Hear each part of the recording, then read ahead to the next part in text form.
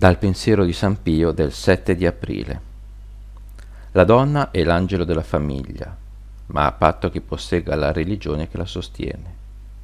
Essa è il profumo della famiglia, ma a patto che possegga il profumo della religione sentita, manifestata e praticata.